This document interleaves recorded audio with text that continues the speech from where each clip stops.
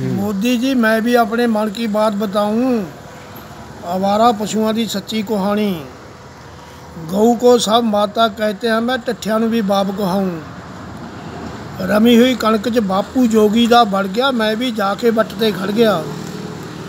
ਬਾਹਰ ਆਓ ਪਿਤਾ ਜੀ ਮੇਰੇ। ਉਹ ਕਹਿੰਦਾ, ਪੁੱਤ ਜੀ ਆਓ ਜਰਾ ਮੇਰੇ ਨੇੜੇ, ਮੈਂ ਤਾਂ ਖੜਾ ਹੀ ਬਣ ਗਿਆ ਮਾਊਂ।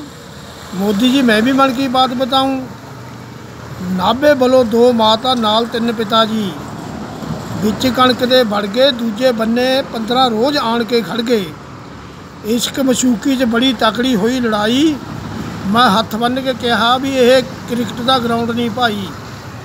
ਡੇਢ ਦੋ ਬੀਗੇ ਕਣਕ ਖੜਪਤੀ, ਇਸਕੋ ਦੁਬਾਰਾ ਕੈਸੇ ਲਗਾਉਂ ਮੋਦੀ ਜੀ, ਮੈਂ ਵੀ ਆਪਣੇ ਮਨ ਕੀ ਬਾਤ ਬਤਾਉਂ ਇੱਕ ਬਾਪੂ ਚਲਦੀ ਖਾਲ ਵਿੱਚ ਵੜ ਗਿਆ, ਦੂਜਾ ਬਾਪੂ ਮਾਤਾ ਜੀ ਕੋਲ ਖੜ ਗਿਆ। ਤੀਜਾ, ਬਾਪੂ ਮਾਰੇ ਬੜਕਾ ਜੱਟੋ ਤੁਹਾਡੀਆਂ ਕੱਢ ਦਵਾਂਗੇ ਰੜਕਾਂ 90 ਸਪੀਡ ਤੇ ਜਾਵੇ ਗੱਡੀ।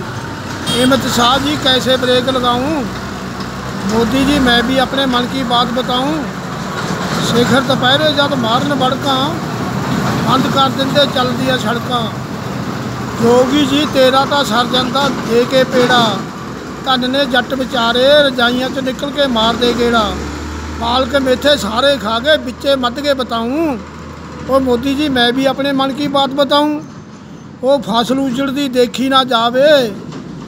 ਬੈਂਕਾਂ ਦੀਆਂ ਕਿਸ਼ਤਾਂ ਦਾ ਡਰ ਵੱਡ ਵੱਡ ਖਾਵੇ। ਉਹ ਕਲਵੰਤ ਥੂਹੀ ਲੀਡਰ ਪਏ ਨੇ ਸੁੱਤੇ, ਝੱਟ ਅੱਖ ਖੁੱਲ ਜਾਂਦੀ ਜਦ ਭੌਂਕਦੇ ਕੁੱਤੇ। ਉਹ ਤੂੰ ਤਾਂ ਬੁੱਟਰਾ ਨਾ ਜਿਉਂਦਾ, ਨਾ ਮਰਦਾ। ਘਰ ਛੱਡ ਕੇ ਹੋਰ ਕਿੱਧਰ ਨੂੰ ਜਾਊਂ?